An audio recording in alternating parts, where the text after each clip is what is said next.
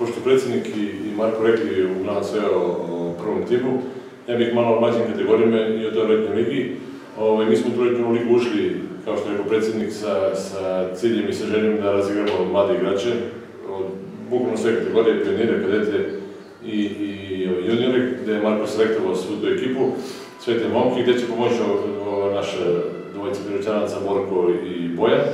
Ovaj, u, u jednoj konkurenciji seniorskoj, koja mislim da će dosta značiti ovim našim mladim igračima, da osjete malo kako je igrati sa seniorima, gdje, gdje hajmo kaže, više tuče na terenu, ali gdje se igra mnogo čvrća košarka i mislim da će to oni izvući neku korist, korist od toga.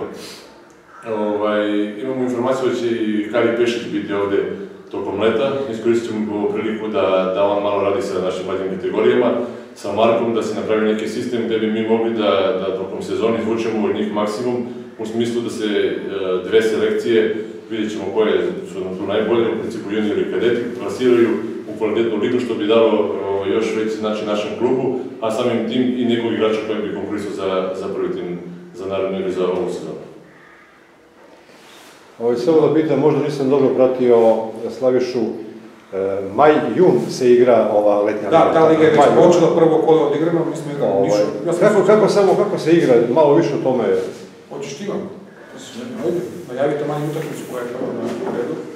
Значи, Лига се игра по двокружно систему, пет екипа су у конкуренција, игра почела прошла недела да кажем, и трае до 20. јуна, значи мај јун. Тоа е, е една лига која е битна младим играчима да во овом посттакмичарском делу kroz trening imaju i utakmice, jake, da, jake utakmice tako da bi mogli da, da napredu u svakom elementu, i tehničkom, i taktičkom, i fizičkom, da kažem, da ostaju, da u formi, da bi što više njih mogli da, da iskoristimo, odnosno da se dokažu da bi mogli da igraju sljedeće sezone. Znači, igra se dvokružno, e, prva utakmica odigrana protiv ekipe Fairplaya koja je jedan novi klub sa, napravljena sa dosta iskusnih igrača, kažem, mi smo izgubili u Nišu, drugo kolo igramo već sad u nedelju u pola pet u Babušnici, e, na, na njihovom spoljnom terenu, treće kolo je sreda od 18 časova i dolazi nam leda iz Knjaževca, znači jedna ligica, da kažem, sasvim korektno, gdje će ovi svi mladi igrači da se razviju što bolje. Još jedno stvar. Znači, Dušan će igrati u to. I Dušan, kad, se bude spremio malo. Ne, ne, kad se pokaže, kad se dokaže. Na trenizi. Na trenizi, oni možda mogu.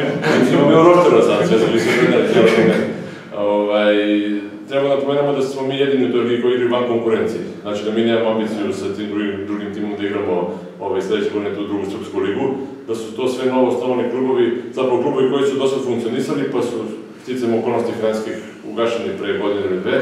Sada su se novo osnovani, to je Knjaževac Leda, Zaječar, kako biše, Mladost, Mladost, Mladost Zaječar, Fair Play iz Niša, gdje smo mi bili, bili ovaj, izuzetno gostoprijstvo njihovo, oni su nov klub, dosta ambiciozan, imaju neke namere i planove da, da dođu do, do našeg takmičenja Belige za nekoliko godina. Ovaj, I pored njih Babušica koja je svaki godin te, te ligi. Tako da mislim da je ovaj, kvalitet dosta dobar te ligi i da će to značiti svima, svima nam u klubu.